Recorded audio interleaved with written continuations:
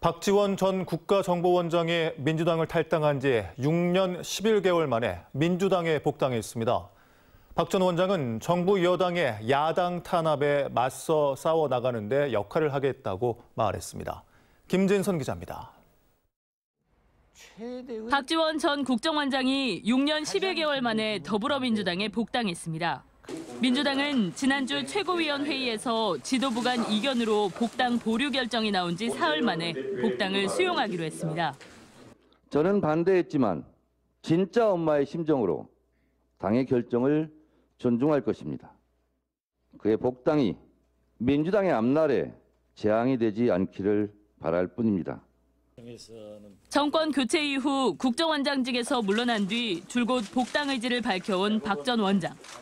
하지만 경선 불복 탈당자에 대한 당원 당규 정신을 위배하고 이른바 문모닝으로 민주당을 공격해왔다는 이유 등으로 그동안 복당이 쉽지 않았습니다.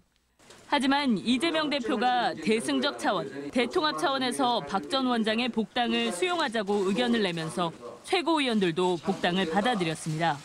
야당 탄압에 대한 단결로 잘 싸워나가서 승리하는 그리고 내후년 총선 승리와 또 정권 교체를 위해서 한편 정치구단 빅마우스의 민주당 복귀로 제1야당의 대여 공세가 더욱 거세질 것이라는 전망과 함께 박 전 원장의 내후년 총선 행보 등에도 관심이 쏠리고 있습니다.